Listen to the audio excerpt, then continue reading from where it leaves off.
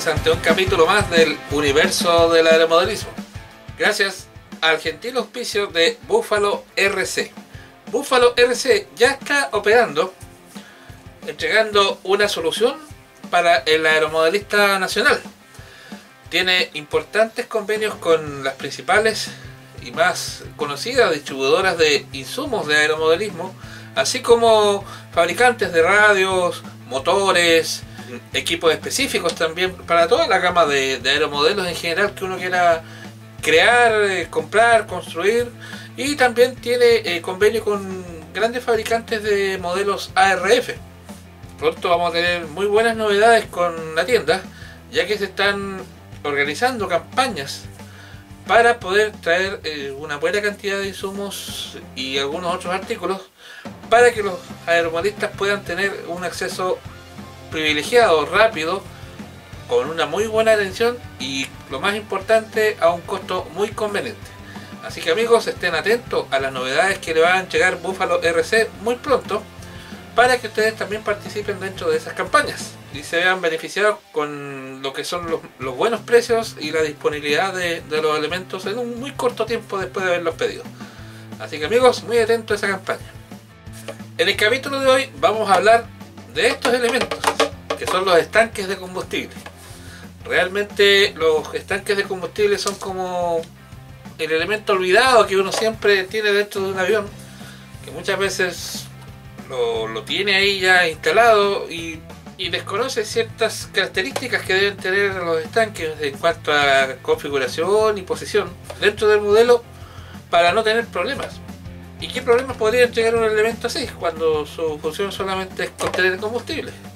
Lo vamos a descubrir entonces allá donde nuestro amigo el mesón, como siempre. Vamos ahí. Bien amigos, estamos nuevamente acá en nuestro mesón, una vez más, para aprender un poco de estos elementos que son obvios dentro de un aeromodelo y por su obviedad por lo general olvidamos revisarlos, olvidamos configurarlos bien, olvidamos fijarlos bien dentro de un modelo y eso nos crea un montón de problemas que por lo general atribuimos a otras causas y no nos percatamos que el verdadero problema está acá en este elemento que es primordial dentro de lo que son los modelos con motor a explosión el estanque de combustible por lo general en los modelos tiene doble finalidad. En el caso de los modelos Glow, aparte de ser un contenedor, ¿no es cierto?, donde se echa el combustible, actúa al mismo tiempo como una bomba de combustible. Y eso va dado principalmente por la configuración de las mangueras que tiene el estanque en sí. ¿Cómo se configura un estanque en general? Inicialmente todos los estanques se conforman ya sea de una pieza de plástico de tipo opaca, como en este caso, ya que es lo más tradicional. Tenemos en todas las formas y tamaños, que va más que nada dado por el fabricante. Tenemos ciertos estanques grandes para motores bencineros, tenemos estanques pequeños para pequeños aviones de escala, y los estanques más comunes para motor low que corresponden a estos formatos ya que están acá que por lo general conforman ¿no es cierto? la pieza central de plástico que es el contenedor mismo y un acceso, una tapa que por lo general en todos los estanques va siempre un poco más desplazado en el eje del eje del estanque. No así en este caso que este es un, un estanque bastante pequeño y por lo tanto no hay espacio para desplazarse del eje. Pero por lo general todos los estanques si nosotros lo miramos bien, están descentrados la salida con respecto al eje del estanque. Incluso los estanques para motores bencineros cumplen con esa condición de estar descentrados, si se dan cuenta. La tapa tiene eh, dos funciones, ¿cierto? La primera es sellar el, contenedor y la segunda, muy importante, es actuar de puente entre el, el combustible que está alojado dentro, ¿cierto? Y el motor. Para eso, por lo general, prácticamente todas las tapas tienen la opción de configurarlo ya sea con dos o tres agujeros. Todas las tapas siempre traen tres agujeros, como en este caso, pero nosotros podemos decidir qué configuración usar según lo que necesitemos nosotros del modelo, según la comodidad que nosotros queramos tener con el modelo mismo. Entonces, la configuración básica de un estanque, tenemos ¿no el contenedor del estanque en sí, está la tapa, vemos acá, ¿no es cierto? Y esa tapa puede ser atravesada ya sea por dos o tres conductos metálicos que son los que se encargan de hacer la transferencia del combustible como al mismo tiempo de hacer el equilibrio o la presurización del estanque. ¿A qué me refiero con esto? Por lo general, todos los motores Glow necesitan de que el estanque sea presurizado para poder suplir de esa forma la carencia de, una bomba en el estanque. Entonces, ¿cómo se realiza eso? Todos los motores Glow con combustible tradicional, ¿no es cierto? Que el, metanol con aceite de ricino y, y nitrometano poseen en sus escapes, en sus eh, o silenciadores, como quieran llamarle, un conector de este tipo, que es un pequeño fitting que le da la posibilidad de conectar una manguera acá. Y este pequeño fitting se encarga de enviar gas presurizado al interior del estanque. Actúa como una bomba, porque mantiene una presión necesaria dentro del estanque para que permita después el flujo constante por intermedio de la otra salida que es la, de alimentación al motor. Esta salida se conecta directamente a la entrada del carburador, donde nosotros podemos regular la mezcla, ¿no es cierto?, con las agujas de alta y las agujas de baja, como en el caso de este motor. Vamos a ver el tema de los motores en un par de capítulos más para entender eh, la parte de carburación y cómo se conforman generalmente los motores de aeromodelismo. Ahora nos vamos a tener exclusivamente a lo que son los estanques, porque como les explicaba en un primer momento, los estanques en sí, si no están bien configurados, son la principal fuente de problemas de los motores. Entonces, como les explicaba, el fitting, ¿no es cierto?, presuriza el estanque. Vamos a conectarlo ahora acá. Y esa presurización, ¿no es cierto?, pasa por intermedio de esta manguera y se va al interior del estanque. Por lo general, nosotros tenemos doblada la, el conducto, ¿no es cierto?, que ingresa con la presión del estanque hacia arriba para poder mantener siempre presionado desde arriba hacia abajo el líquido para que vaya bajando a presión hacia adentro. Y todo el combustible vaya saliendo por la manguera que va directamente al carburador por presión. Y obviamente nosotros después regulamos acá la cantidad de combustible que va pasando esta manguera de alimentación de combustible hacia el motor va asociada con este elemento que se llama pescador. Pescador, peso, eh, tiene un montón de nombres en el fondo. ¿ya? De tal forma que esto permite que al momento de girar el, el avión en cualquier sentido, siempre la manguera esté en contacto con el combustible. Recordemos que el combustible, al ser un líquido, tiende, ¿no es cierto?, a ser afectado por, las inercias, por lo tanto, si el avión está con gravedad negativa, o sea, va en, un descenso, ¿no es cierto?, va en posición normal, pero hace un descenso, el combustible automáticamente asciende y el pescador tiene que ser exactamente lo mismo, por, eso lleva el, contrapeso. Si el, avión se mantiene recto y nivelado, el combustible va a ir, ¿no es cierto?, siempre acá, un poquito hacia atrás, por efecto de la aceleración, y el pescador va a estar allá. Si el avión se pone invertido, ¿no es cierto? Automáticamente el, líquido cae y el pescador también va a estar hacia abajo, siempre. Va a buscar eh, ir junto con el combustible y en todo momento va a estar entregando el combustible directamente al motor. Esto, digamos, es en condiciones ideales. ¿Y a qué me refiero con eso? Que la condición ideal significa que las mangueras no estén excesivamente dobladas, cuando una manguera está muy plegada, puede ser que con la inercia misma del, del, modelo al, momento de, de, hacer alguna maniobra se flecte un poco más y termine obstruyendo el paso del combustible.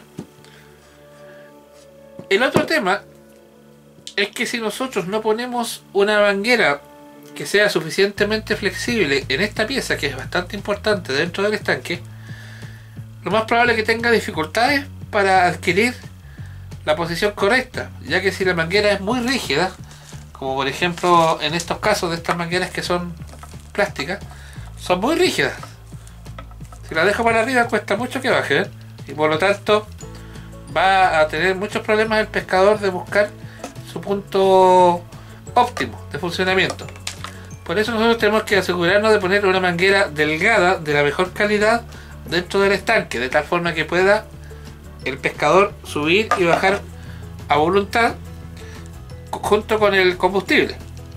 El otro tema que tenemos que asegurarnos siempre con las mangueras es que el anclaje a la tapa sea lo suficientemente largo para que la manguera no se salga de ahí, su sitio. En este caso tenemos un, un par de anclajes, ¿no es cierto?, que son óptimos, que son suficientemente largos, para que nosotros podamos poner las mangueras con plena seguridad.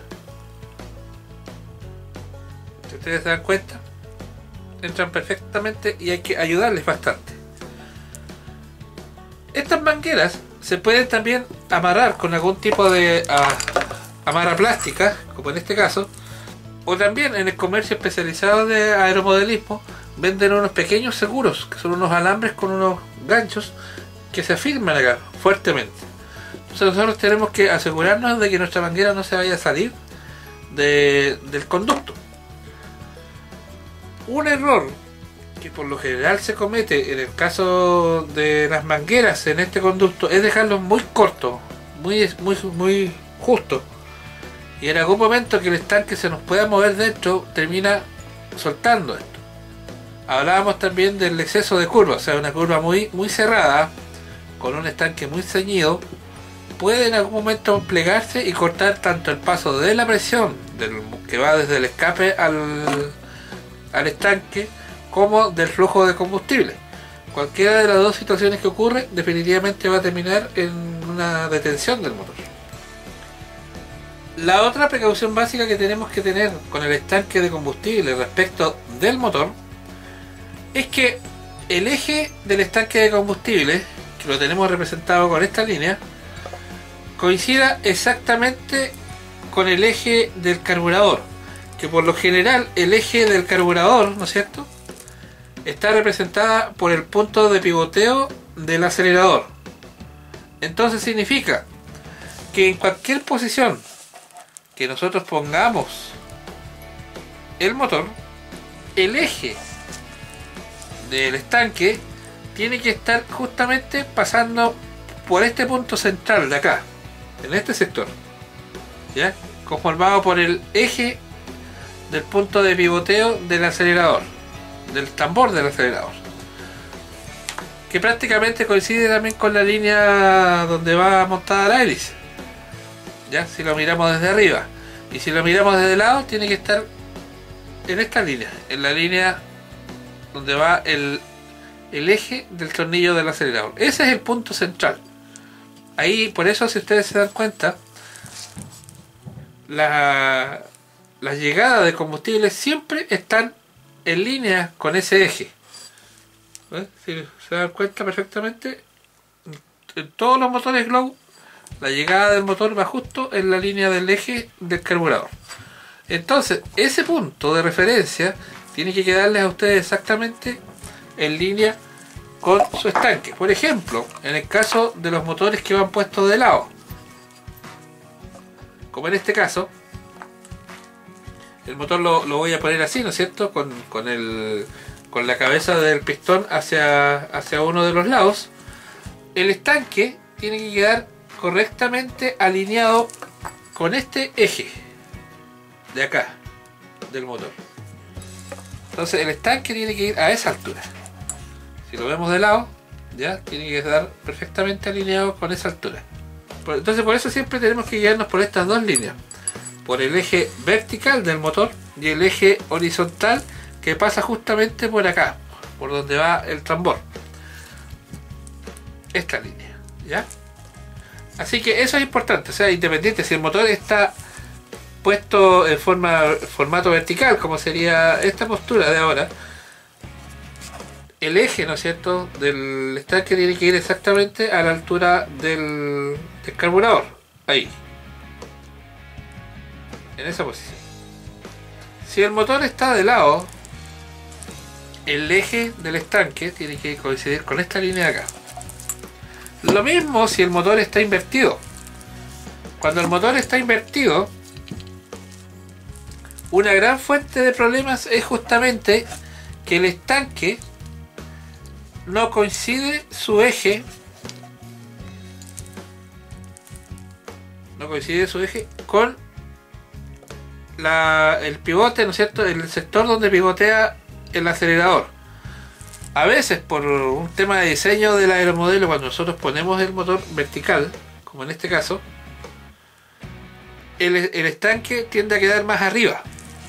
Y al quedar más arriba, ya hay un diferencial de presión que el, que el modelo tiene que salvaguardar. ¿Qué significa eso?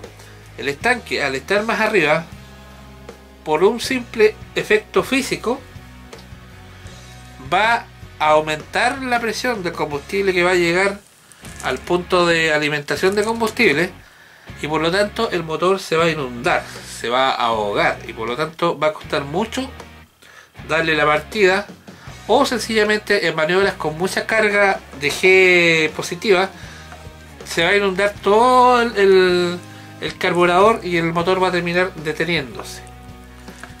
Lo mismo pasa si queda el estanque más abajo. El combustible ya necesita ir con más fuerza para acá arriba y en, cuando nosotros bajemos las revoluciones del motor ya la presión no va a ser la suficiente dentro del estanque y por lo tanto el combustible no va a alcanzar a llegar al, al carburador y por lo tanto se va a detener. Por eso es importante siempre mantener el eje del estanque respecto a esta cruz, este eje que está acá, en el centro del carburador. Muchas veces me he dado, he estado ayudando a, y yo también he tenido el problema ayudando a los modelistas que después de haber luchado mucho, haber cambiado muchas bujías, haber prácticamente derramado lágrimas porque el motor permanentemente se inunda o, o está falta, se detiene en ciertas maniobras, y nada más y exclusivamente porque o tienen una manguera plegada o el eje no corresponde con la línea del carburador. Así que eso es tremendamente importante. Tienen que ustedes acercarse lo más posible al nivel óptimo. El otro problema que siempre surge al momento de, tratar de echar a correr un motor y de repente tiene paradas que son inexplicables porque está lleno de combustible, la, la, bujía funciona bien y tiene todo ese tipo de cosas en regla. El estanque está en el eje también del, carburador y uno por más que mire no, no, encuentra el, el, problema. Lo más probable es que en esa condición sea una de las mangueras que tenga una pequeña fuga. Debido a que o está muy vieja la manguera o sufrió un pequeño piquete microscópico que nosotros no lo vimos o definitivamente cuando nosotros montamos de los tubos no fuimos prolijos al momento de cortar y dejar estas puntas totalmente romas. O sea las dejamos no es cierto con ciertas rebabas y esas rebabas terminan perforando o rompiendo algunas de las mangueras. Y como este es un sistema que está presurizado no sé va a empezar a filtrar aire o va a empezar a caer combustible. Por lo tanto tenemos que siempre estar inspeccionando que las mangueras no tengan ningún tipo de perforación. O que la tapa, ¿no es cierto?, directamente del, de, del estanque esté correctamente montada.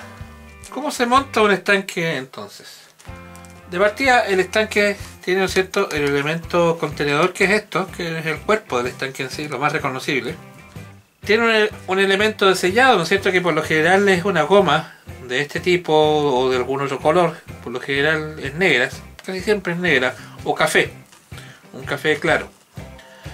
Tiene un elemento que va detrás, que actúa a modo de, compresor, ¿no es cierto?, de la goma. Y en la parte frontal tiene una tapa que va con un tornillo afirmado a esto, que al final todo este conjunto se comprime y actúa como una junta expansiva donde va sellando el, frontal del estanque. En estos elementos centrales nosotros tenemos que definir cuántas líneas vamos a pasar.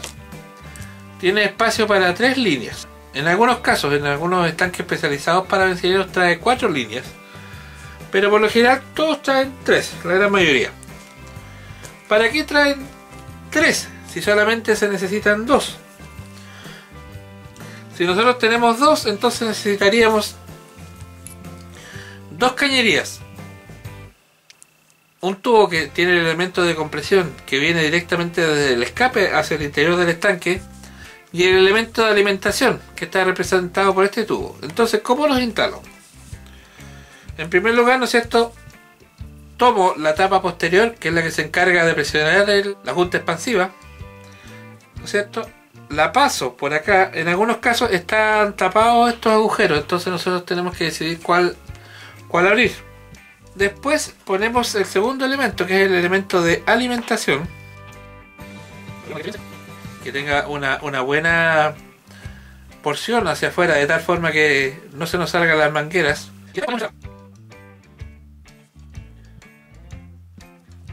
Teniendo nuestra tapa puesta ya, nosotros ya podemos poner el, el tornillo o perno de fijación. Este elemento, ¿no es cierto?, se fija muy suavemente en un primer momento.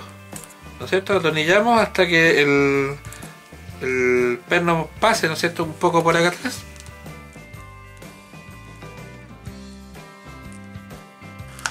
Y una vez que ya está ligeramente puesto, ¿no es cierto? Nos preocupamos de insertar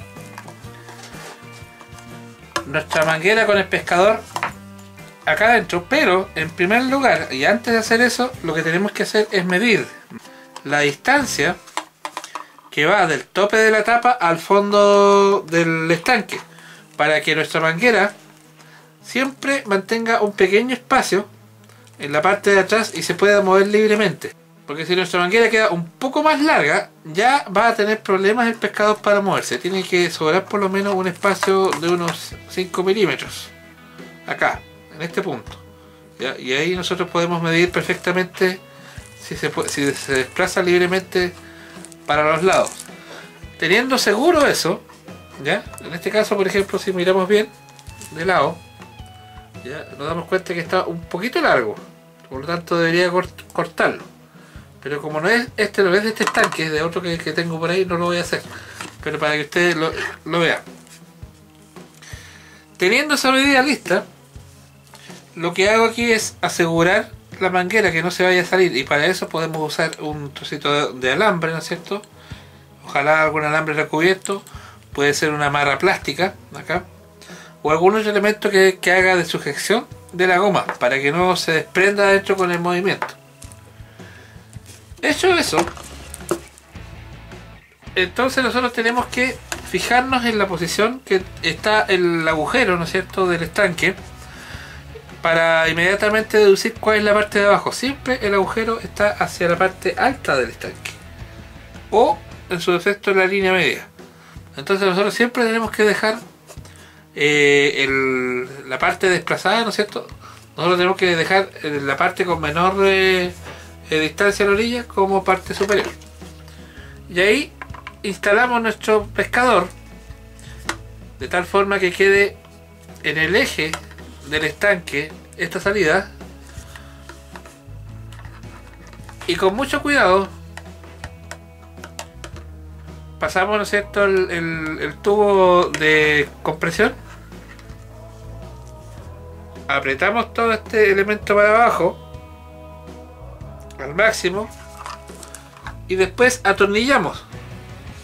Atornillamos hasta lograr la máxima presión pero cuidando de no romper los hilos de, la, de las tapas, porque si no después ya no va a costar encontrar algún reemplazo.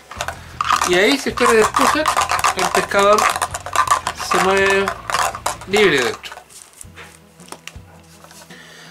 Otra opción que se usa es cuando nosotros ponemos una manguera de relleno.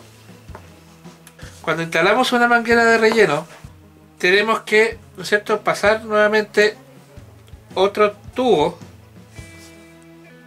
por el tercer paso que tiene dibujada la tapa. Y allí esa la dejamos sin manguera interior. O en su defecto si nosotros queremos utilizar esa manguera para extraer también el, combustible más fácilmente lo podemos dejar con una manguerita más o menos rígida que llegue al fondo del estanque.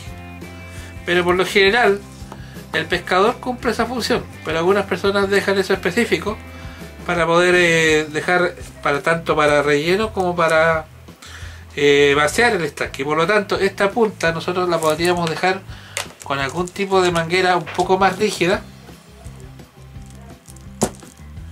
¿No es cierto? Cortamos un trozo y esta punta incluso la podemos doblar un poco hacia abajo para que el conjunto quede apuntando hacia el piso.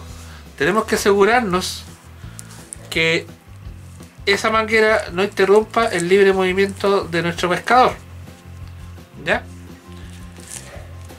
Y luego instalamos todo eso acá, ¿no es cierto? Procurando siempre que el, venteo este, la, donde va ingresando la presión, quede directamente hacia arriba. Y el pescador quede en la línea del eje, ahí. Y después ponemos ya las mangueras correspondientes.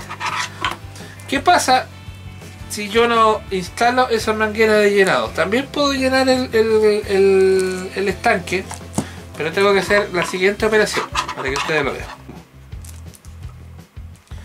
Para rellenar un estanque que tiene dos mangueras, solo dos mangueras, como en este caso, ¿no es cierto? La manguera de alimentación de combustible al motor, la que va directamente al carburador, y la manguera que va al escape, la de compresión, lo que tengo que hacer es desconectar la manguera que va a la toma de combustible y dejar también desconectada la manguera que va a la alimentación del escape y esta dejarla apuntando hacia arriba.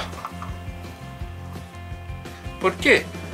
Porque esta manguera que va por acá, ¿no es cierto? El tubo apunta directamente hacia la parte alta del estanque y por lo tanto está en una posición bastante cómoda para indicarnos que el estanque está lleno.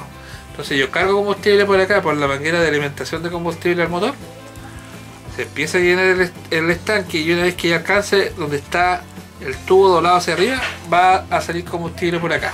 Y con eso nos aseguramos que el combustible ya es suficiente. Terminada esa operación, entonces lo que hago yo es conectar la manguera de acá, la del escape. Retiro ¿no es cierto?, en la punta de llenado y conecto nuevamente la manguera al carburador. Y con eso ya tenemos asegurado que nuestro estanque está lleno. Y de ahí damos arranque. En el caso de tener una manguera de llenado,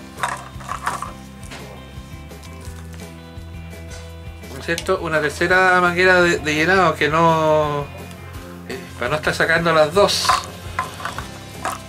desconectamos ¿no es cierto? nuestra tapa conectamos acá la, sonda de llenado de combustible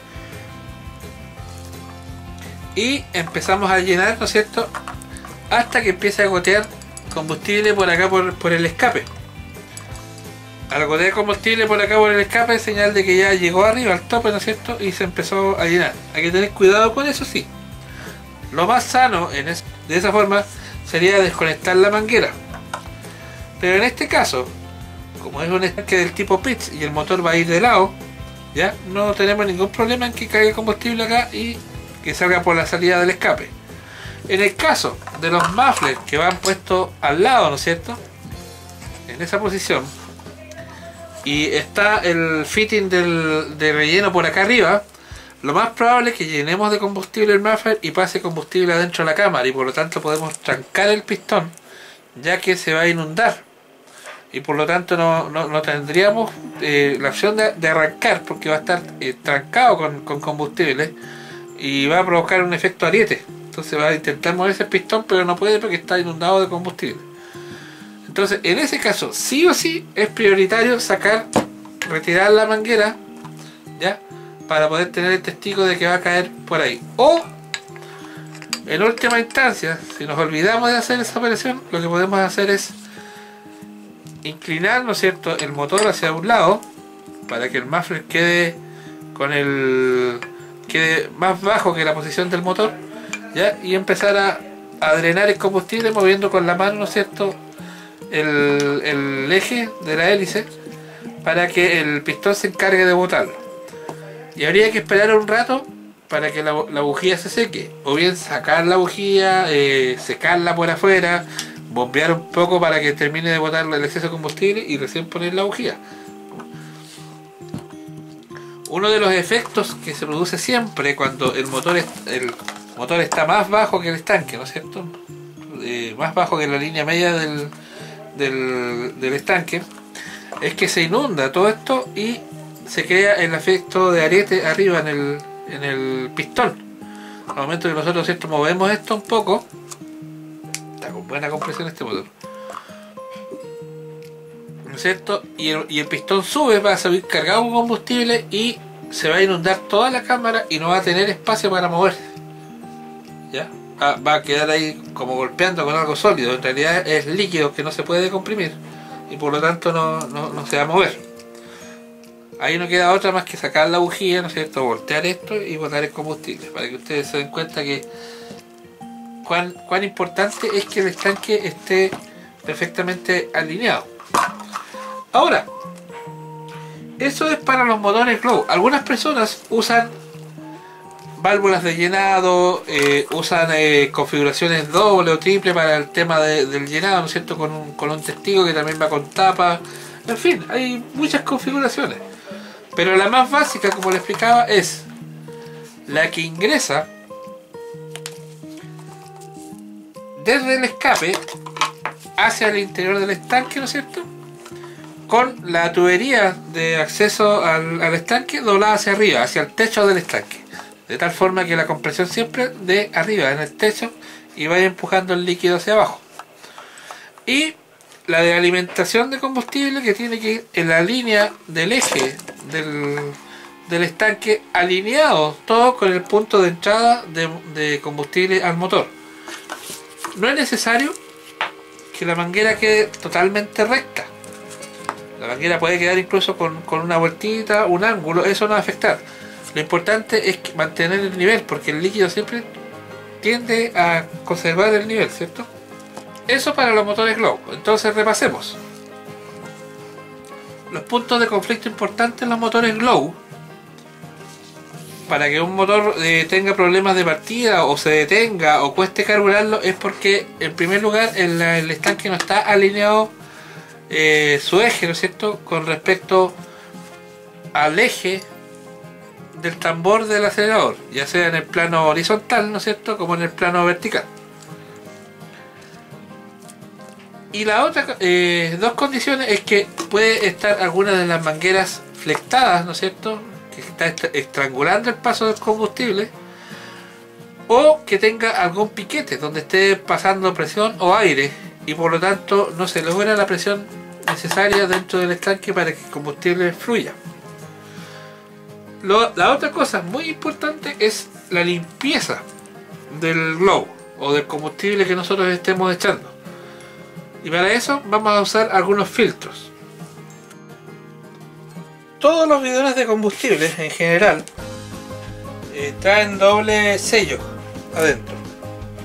Tanto la tapa normal, ¿no es cierto?, como una contratapa. Eso es para evitar que escape el metanol, que es alcohol obviamente, y por lo tanto se evapora muy fácil. Y eh, se vaya degradando el combustible y vaya perdiendo propiedades. Recordemos que el alcohol es bastante hidrófilo, o sea, le gusta mucho juntarse con agua y por lo tanto contaminarse muy rápido con agua. La contaminación con agua es bastante importante porque el agua está presente en todos lados, en el ambiente, en nuestros elementos que usamos permanente, de forma diaria, el simple hecho de respirar. Encima de una tapa abierta ya le estamos transmitiendo agua al combustible y por lo tanto esa agua en algún momento puede crear algún problema de continuidad de paso de combustible hacia, el, hacia del estanque hacia el motor y por lo tanto el motor se puede detener. Una forma bastante segura de, tener un dispensador de combustible es esta que está acá. Acá tengo, ¿no es cierto?, la bomba de combustible clásica que usamos prácticamente todos los aeromodelistas, que son por lo general de bajo costo. ¿Qué es lo que hace generalmente la, las personas? Que esta manguera la andan trayendo suelta por afuera en cualquier lado y después meten toda esta manguera adentro y van eh, trasladando basura desde el ambiente hacia adentro del, interior del, del, combustible, ¿no es cierto? Y lo vamos contaminando. Entonces, una forma bastante práctica es esta. Utilizar la misma tapa, ¿no es cierto?, del bidón. Hacerle dos perforaciones y ponerle dos fittings. De tal forma que nosotros podamos sacar uno de ellos, ¿no es cierto? Como en este caso, ¿ven? y esta conectarla como sonda de combustible siempre tratar de mantenerla lo más limpia posible y conectarla al punto de llenado del estanque y esta otra va directamente al fondo del estanque vamos a sacarla para que ustedes lo vean ¿Sí? una manguera bastante larga esa manguera tiene un pescador de combustible exactamente igual como el que tiene el estanque que es una pieza metálica pesada pero al mismo tiempo le amarro un pedazo de media de, que usa la, la, las damas, ¿no es cierto?, en sus piernas y lo amarro con varias vueltas, como en este caso, ¿eh? un tremendo masacote. Y eso hace las veces de filtro. Por lo tanto, nosotros si miramos el interior de esta botella, no vemos absolutamente nada de suciedad dentro. El combustible está permanentemente limpio. Y si ustedes se dan cuenta, ¿no es cierto?, tiene los dos fitting acá. Entonces, no tengo que estar permanentemente abriendo y cerrando esto con el riesgo de contaminar, ni metiendo ni sacando la manguera hacia adentro, que también va a contaminar.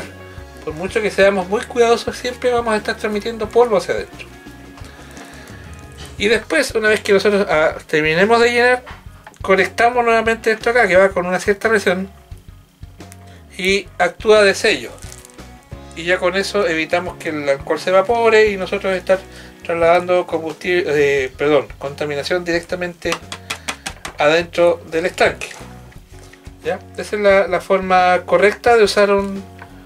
Hay, sistemas ahora que operan con bomba, que uno deja todo esto conectado exactamente igual, pero nosotros usamos la bomba manual. Esta es una forma práctica de no estar usando combustible sucio. Y es bastante económica, como ustedes ven. Lo que menos se recomienda es estar trasladando combustible desde acá hacia botellas ya de cualquier tipo. ¿Por qué? Porque esas botellas siempre terminan contaminándose con algo. Y al final siempre vas a estar traspasando suciedad a tu motor. Uno de los grandes enemigos de, los, de los carburadores justamente es, la, cantidad de suciedad que puede ir pasando. Y con el filtro que yo hice de, esa media de, de, de mujer, yo sencillamente el día anterior bato esto, ¿ya? Lo bato incluso en el viaje, el mismo transcurso del viaje se va batiendo y lo que va haciendo es que va homogeneizando la mezcla y después cuando yo la, la, la traspaso, ¿no es cierto? La mezcla se filtra en la otra esa media y va quedando todo acá dentro y ya no contamina nada. Entonces, redondeando, los estanques Glow, ¿ya? Primera precaución, ¿no es cierto?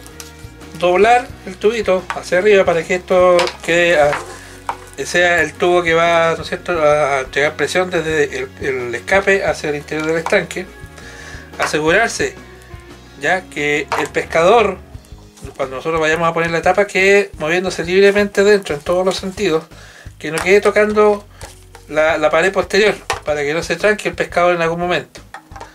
Si por algún motivo la, la manguera de llenado también la vamos a usar para sacar el combustible, tenemos que asegurarnos de dejar este tubo doblado hacia abajo, ya con un pedacito de manguera, para que ese pedacito de manguera eh, se asiente en el fondo del estanque, ya con un pequeño bisel, de tal forma de que no nos moleste a nuestro pescador, el libre movimiento de nuestro pescador.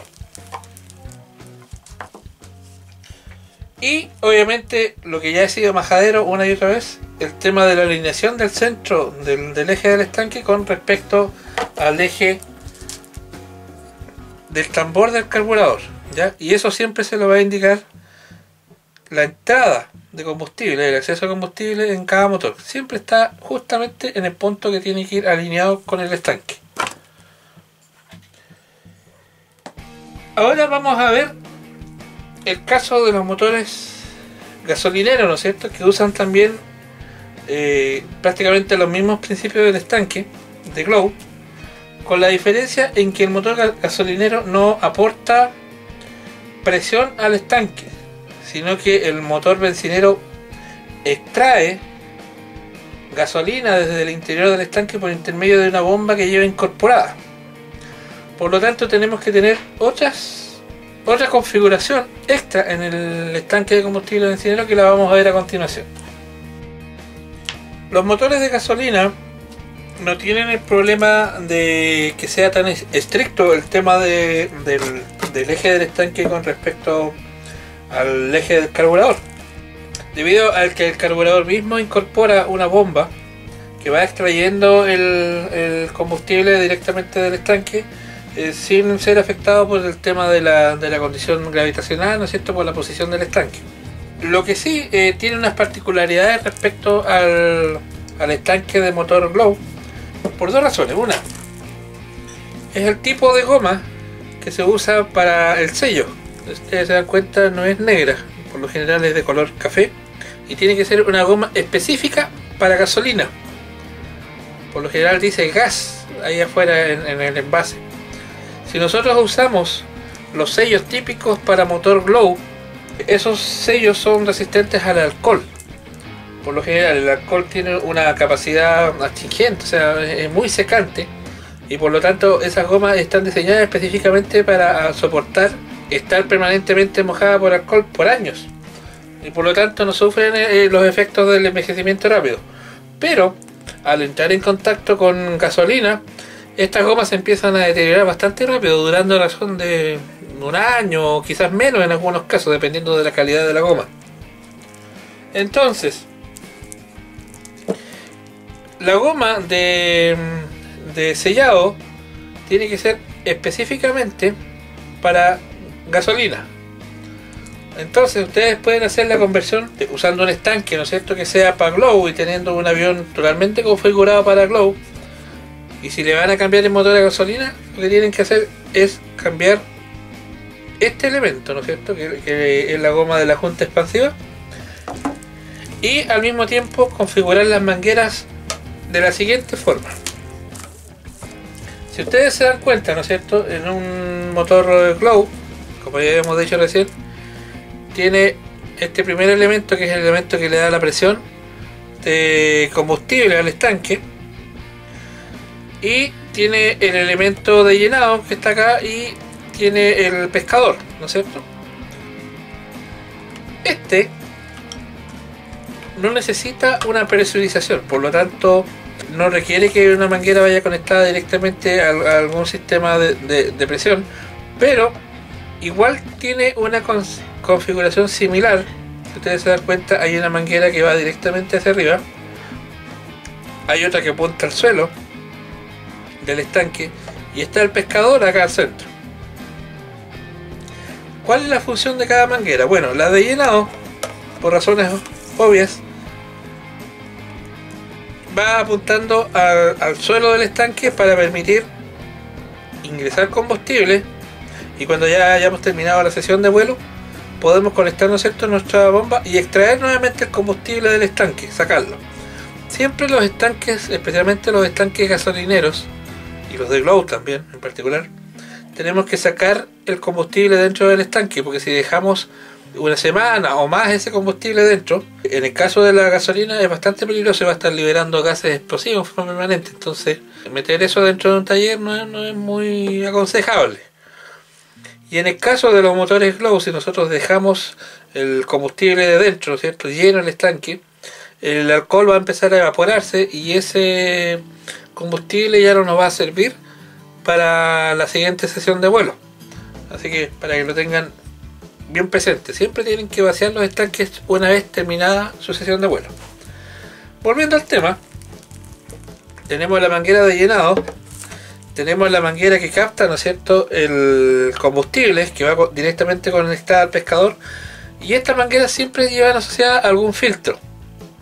¿Ya? Como en este caso. Aquí hay un filtro, ¿no es cierto? Que puede ser también eh, los filtros clásicos que se usan también para el glow. Estos filtros son prácticamente universales, o sea, son, sirven exactamente igual para glow o para gasolina. ¿Ya? Porque consisten en una malla metálica adentro, por lo tanto no, son alterados, al igual que este. Si se dan cuenta es una malla metálica que está dentro. Y aquí es donde está la diferencia notable, ¿ya? En el venteo, que vendría a ser eh, parecido al, al, que trae la, presión, ¿no es cierto?, desde el escape del motor Glow hacia el interior del estanque, en este caso lo que hace es el equilibrio del estanque para que no tenga presión. ¿Ya? ¿Por qué? Porque los gases de la gasolina de por sí se expanden dentro y van creando una mayor presión dentro del estanque. Y si no tiene este venteo, va a llegar un momento en que la presión dentro del estanque va a ser más alta que lo que permite la bomba y puede llegar a detener el, efecto de la bomba porque es una pequeña membrana que va dentro del, del motor de gasolina funcionando. Y si está con sobrepresión, va a llegar un momento en que no va a poder hacer esa función y el motor se va a detener. Por lo tanto necesita eh, esta, esta, esta manguera que es de venteo. ¿Y cómo va? Nosotros, ¿no es cierto?, instalamos nuestro sistema, ¿no cierto?, de mangueras si ustedes se dan cuenta, el venteo va hacia arriba, el pescador como siempre va en la parte central, la de llenado va hacia la parte de abajo, todo esto lo hacemos ingresar, ¿no es cierto? Presionamos todo esto. Y después atornillamos acá para que haga la, la, presión y se expanda la goma que es lo clásico. Pero la manguera de venteo va de la siguiente forma. Sale del estanque ¿no es cierto? se dobla hacia arriba tratando de que no se despliegue mucho. Damos la vuelta sobre el estanque y después lo dejamos en caída libre. Ya esta punta. Queda exactamente así. Ya sube da la vuelta por arriba y baja. ¿qué es lo que hace eso? cuando el avión va volando en posición normal, ¿no es cierto? va liberando los gases de, del combustible pero cuando ya el avión empieza a hacer las acrobacias, a volar invertido y a volar en todas las posiciones, el combustible no se cae. No se cae porque eh, esta manguera siempre va a ir más alta que el combustible. Primero va por arriba, ¿no es cierto?, en la posición normal. Cuando va en vuelo lateral, ¿no es cierto?, en vuelo cuchillo, esta manguera va a ir más alta que el combustible. Y cuando va en posición invertida, ¿no es cierto?, esta punta va a ir más alta que el combustible. Por lo tanto, nunca el combustible va a estar sobre el venteo y por lo tanto nunca se va a caer. Va a estar girando ahí, pero no se cae. Esa es la función del venteo. Teniendo entonces en consideración eso, el resto es sencillamente conectar, asegurar ¿no las mangueras con alguna mara plástica que se mantenga en una condición segura y usar filtros también de combustible. Acá tenemos un estanque de gasolina, ¿cierto? Puesto ya en el respectivo avión. Si ustedes se dan cuenta, tenemos acá directamente a la vista lo que es la manguera que pasa por sobre el estanque, ¿no es cierto? Que sale desde su parte frontal, que es la manguera de venteo. Da la vuelta sobre el estanque y de ahí se dirige ya hacia abajo, hacia un punto que está situado debajo, ¿no es cierto? Y ahí se alcanza a ver la punta de la manguera. ¿ya? Donde, que es la que eh, hace de despiche. En el fondo, eh, la función del estanque de gasolina, aparte de contener el combustible, ¿no es cierto? Es un sistema pensado directamente para no tener pérdidas de combustible en el momento del vuelo. Por lo tanto, tiene esa configuración que, que les mostraba y que es la clásica para todos los motores de gasolina. Vamos a ver ahora cómo es un contenedor de combustible que es el que nosotros usamos para transportar el combustible y rellenar el estanque. El bidón de transporte de gasolina tiene prácticamente la misma configuración del, del bidón de Glow, pero en este caso solamente cuenta con una sola manguera, que es la que sale, ¿no es directamente desde dentro del estanque hacia la bomba y de ahí de la bomba va conectada a un filtro que lo tenemos acá, ¿no es cierto? Y ese filtro está conectado directamente a la sonda de carga de combustible que está acá. Protegida, ¿no es cierto?, la punta con, con una manguera que está doblada y, y amarrada, que es una forma de hacerse una tapa en forma económica ustedes se dan cuenta, todas las uniones están con su amarra plástica, de tal forma de no tener problemas. Y adentro tenemos el mismo sistema que habíamos visto con otros, con el pescador, pero en este caso, como tenemos el filtro de combustible afuera, ¿no es cierto? No necesitamos tener la, eh, la media de nylon acá. Podríamos ponerla, pero como tenemos un filtro externo, no es tan necesario. La precaución que hay que tener cuando uno carga combustible con el, con el bidón de gasolina, ¿ya? Es abrirlo un poquito, dejar la tapa ligeramente suelta y ahí recién empezar a bombear el combustible. Debido a que si mantenemos la tapa cerrada, el bidón va a empezar, ¿no es cierto?, a colapsar de a poco y va a llegar un momento en que la bomba no va a ser capaz de aspirar y por lo tanto nos va a obligar a abrir la tapa después. La forma de vaciar un estanque, cualquiera sea, ya sea globo o, gasolina, es siempre dejar el, el depósito de combustible de transporte, ¿no es cierto?, más abajo del nivel del estanque. Entonces uno bombea en reversa con, la bomba manual, ¿no es cierto?, y después deja de reposar y el combustible va cayendo sencillamente por gravedad. Así que no nos complicamos mucho con, con eso, a menos que estemos apurados y necesitamos bombear en forma directa. En el fondo, las precauciones son básicas. Al igual que lo que es Glow, ya tenemos que asegurarnos que las conexiones estén bien puestas, la manguera no tenga ¿no cierto? roturas ni perforaciones de ningún tipo donde pueda filtrar aire, especialmente la, la, manguera que va directo desde el estanque hasta la bomba, ¿no es cierto? Eh, esa no, tiene que tener ninguna rotura por ningún lado, si no nos va a crear problemas. No así eh, las otras dos mangueras que si bien están, digamos, eh, son parte del sistema, como este no es un sistema presurizado, no es tan crítico. Y por lo tanto no requiere eh, estarlas revisando permanentemente. Sí, que no se salgan nomás desde el punto o cambiarlas cada cierto tiempo porque la gasolina tiende a resecarlas un poco. Por último, para fijar un estanque dentro de un aeromodelo, en primer lugar, tenemos que aprovechar las mismas condiciones que trae el aeromodelo.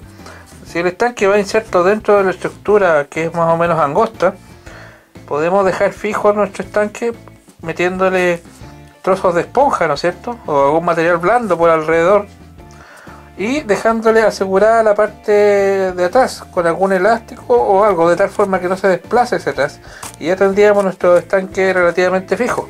La idea es que todo este componente no se esté balanceando ni, ni, ni azotando dentro del fuselaje. Siempre tiene que quedar bien amarrado. En el caso de los estanques gasolineros, obviamente, por ser ya mucho más pesados, hay que sí o sí necesariamente amarrarlo, ¿no es cierto?, con, con amarras plásticas directamente en la superficie donde, donde va a ser instalado. Esa superficie, por lo general, en prácticamente todos los modelos traen ranuras o agujeros donde nosotros podemos pasar fácilmente amarras plásticas o bien estas amarras con velcro. Lo que prefiero hacer siempre, en mi caso particular, es ponerle debajo alguna un par de líneas, ¿no es cierto?, de ya sea silicona caliente o bien eh, dos pedazos de cinta de montaje de doble cara, pegarla en el punto y ahí recién amarrarlo y con eso me aseguro que no se desplace hacia ningún lado. En el fondo, el estanque, por ser un elemento pesado dentro del, modelo, ya tiene que ir lo más seguro posible para evitar que se desprenda, ¿no es cierto? Eh, se desconecte de las mangueras y nos, provoque más daño que cualquier otro elemento que está dentro del avión, porque son relativamente pesados por el líquido que trae. Lo otro es asegurarse siempre la, la estanqueidad, especialmente cuando uno sufre una caída con el modelo, revisar la estanquedad y para eso sencillamente tapamos, ¿no es dos de los de los conductos y soplamos por un tercero. Ya el estanque tiene que inflarse y no tener ningún tipo de, de escape por los lados ni por la tapa. Eso sería en el fondo el tema de los, los estanques, que muchos lo dejamos pasar porque parece obvio, pero a la larga tiene sus bemoles. Y bien amigos, ese fue el capítulo de hoy. Como ustedes se dieron cuenta, el tema de los estanques era mucho más amplio de lo que generalmente se piensa. Al momento que pretendía hacer este programa, pensé que no iba a dar el tema para más allá de 10-15 minutos. Pero tiene tantas particularidades ese simple elemento que es el estanque, que al final cada una son muy importantes y por lo tanto hay que detenerse y explicarlas muy bien. De tal forma que nosotros no tengamos problemas que pueden ser fácilmente evitados si instalamos nuestro estanque como corresponde. Así que nos dimos cuenta ahora que es una pieza tremendamente importante y que no es un simple contenedor de combustibles de nuestros aviones. Los dejo invitados amigos entonces para la próxima semana. Eh, no se olviden que Búfalo RC lo está acompañando ahora en sus proyectos, está ahí dispuesto para que ustedes vayan, coticen y hagan las consultas que, se les ocurra para sus necesidades como aeromodelista. Nos vemos entonces la próxima semana. Construyan mucho, terminen de reparar sus modelos que tienen por ahí abandonados aún en algún rincón del taller, porque parece que ya pronto vamos a poder retornar ya en forma definitiva a las pistas para poder disfrutar de lo que es el vuelo. Así que amigos, nos vemos. Hasta luego. Muchas gracias y gracias por su atención y su suscripción.